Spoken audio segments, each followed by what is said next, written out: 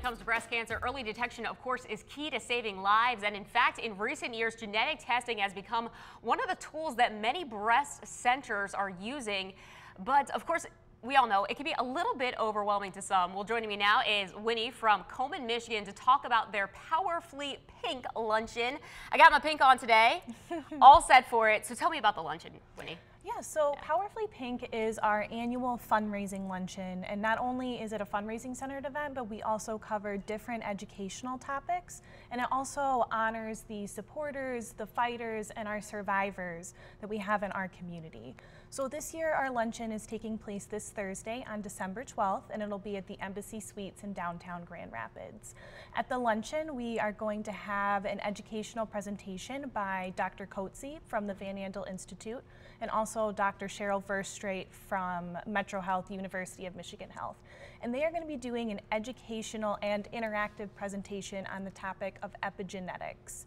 Um, and that is the study of how outside environmental factors, so how where you grew up, your environment, can actually change how your genes are reflected and expressed. Interesting. Mm -hmm. Yeah, that is. I mean, that is that is.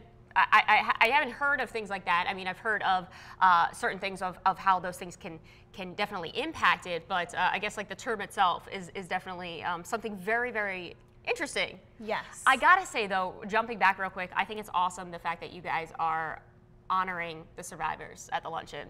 Yes. I mean, uh, um, what does that mean, I'm sure, to them and their families?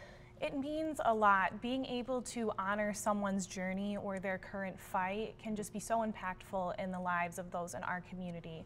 We actually do three awards, a Young Survivor Award, a Luminescence Award, and a Lionheart Award that are awarded to our survivors, our current fighters, those living with metastatic breast cancer, mm -hmm. um, and our breast cancer advocates in our community. So we will be announcing those winners during the event as well. Very, very cool. All right, so go ahead, tell us again the when and the where.